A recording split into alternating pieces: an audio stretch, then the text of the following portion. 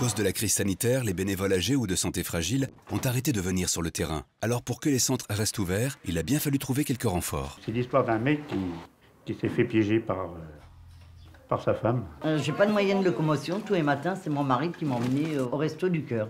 Au départ, il voulait pas Vous venir. voyez pas ma place, euh, ce que j'allais faire ici. Puis bah, après, bah, Bah, j'ai vu il s'est intégré dans, dans le groupe des restos du cœur. À Mahut, oui. Et, à Mahut. Avant, lui, il voyait Je pas ça dans- comme je ça. que je dans- disais, quand on voyait les gens arriver en pleurant avec un petit, un petit bonhomme, euh, il, faut le être là pour le voir.